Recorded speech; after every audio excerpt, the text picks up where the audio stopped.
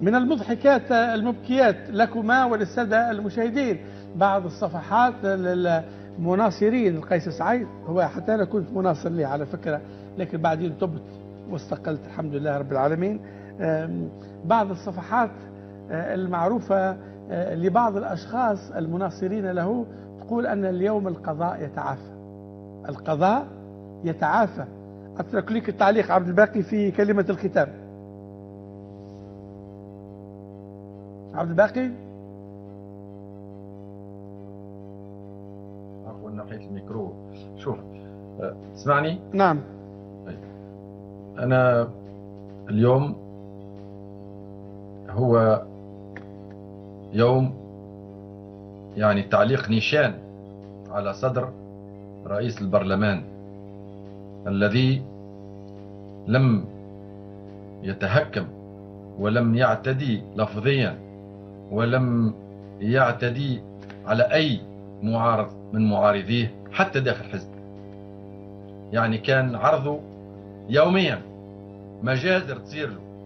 أنا تفرجت في في هذا شو اسمه هذا سفيان بن فرحات كيفاش يتكلم.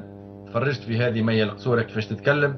تفرجت في بعض الكرونيكورات نتاع اليسار الفاشي المجرم اللي الإقصائي العنصري اللي اللي قاعد اللي هو الآن مهيمن على كل المؤسسات الاعلاميه نتاع البلاد وعاطينه فاتحين ليه الأبواب. الراجل يعني عرضه من الصباح لليل وهما ينهشوا فيه مثل الكلاب المكلوبة وهو لم يرد. وبمجرد أنه ندد بالذين استبشروا بمجيء بالانقلاب في 25 جويلية 21 وخاصة نخبة حاقدة. يعني هو ندد بهم من حقه هذا. هذا رأي هذا وجهة نظر. يعني قال أنه الإقصاء ممنوع ما يلزمش التوانسة يقصوا بعضهم. يلزم التوانسة يحترموا بعضهم. وايش معناها؟ معناها الناس هذون اللي يختلفوا معك في الفكر. مش ترميهم في البحر مش تقتلهم مش تذبحهم مش تقطع عليهم الأكسجين. الأكسجين تاع تونس تمنوا عليهم. يعني هذا هذا هذا فكر فاشي. والفاشي لا يدعمه إلا فاشي. ونحن نشوف في النتيجة الآن. شكون يدعم في قيس سعيد؟ تدعم فيه هذه نتاع إيطاليا وزير خارجية إيطاليا. يدعم فيه الفاشية الأوروبية. تدعم فيه مارين لوبين و مش مع شكون يلتقي؟ مع اليسار الفاشي. واضح عبد الباقي. النتيجة أن الفاشية تلتقي بإذن الله سيتخلص منها الشعب. شكرا. عاجلا أم آجلا. شكرا شكرا لك عبد الباقي فتحي آه صابر نفزاوي عندك كلمة تحب تقولها في الآخر ولا نختم؟ نعم. نعم رسالة صغيرة إلى المنتشين وإلى الشامتين فيما يحدث مع المعارضة. عليهم أن يعودوا إلى قصة ذلك المثل العربي الشهير. أكلت يوم أكل الثور الأبيض. على التونسيين أن يعلموا أن التسلط عقاب إلهي جماعي بسبب السكوت على الظلم ومهادنة الظالمين هو حقيقة دينية وقانون اجتماعي وسنة تاريخية. حتى أن ابن خلدون عنون أحد فصول مقدمته في أن الظلم مؤذن بخراب العمران. شكرا لك صابر النفزاوي بارك الله فيك. ونحن نودع شهر رمضان المعظم. المعظم مش بالعظم متاع توانسة ومتاع أفلام القبح. والسفالة والعري والجريمة والمخدرات. نحكي على المعظم ذات شال معظم تعظيما. ومن يعظم شعائر الله فإنها من تقوى القلوب.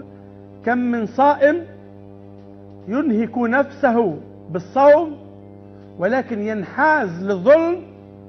فكم من مواقف يمكن أن تتبخر تتبخر الطاعة والعبادة في فضاءات الشتيمة في فضاءات الشماتة في فضاءات النكاية.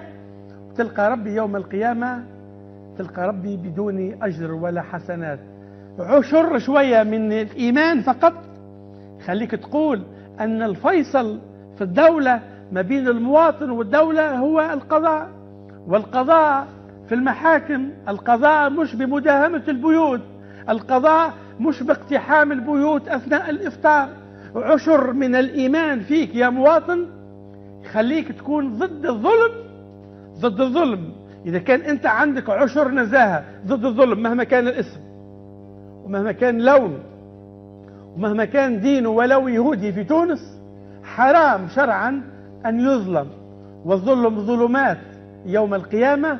الشامتين والحاقدين نذكركم بأن الظلم بدا من الأول صحيح في تونس مع لون سياسي إسلامي ثم امتد للبوليس أمه وأبوه وجد أبوه واللي خلفوه ويطردوه والديواني كذلك بالكف في بورترادس والطرابلسية عملوا اللي ما يتعملش. لكن بعدين يجي فصل آخر. هناك فصل آخر إن شاء الله وهذه خواتيم رمضان إن شاء الله تنتهي. بانتهاء البلاء وبأيام سعيدة مجيدة تليق بالشعب التونسي. أهم شيء فيه يكون ما ثماش شماتة وإنما ثم هناك عدل والعدل يكون في وضح النهار لا يكون في الليل كما تفعل العصابات. ألقاكم غدا بحول الله. شكرا جزيلا لكم.